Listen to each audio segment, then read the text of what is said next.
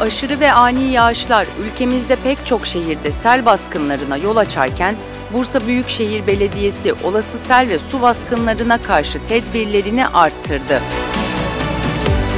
Gündüzleri altyapı iyileştirme çalışmalarını sürdüren BUSKE ekipleri, geceleri de ana arterlerde mazgal temizliklerine hız verdi.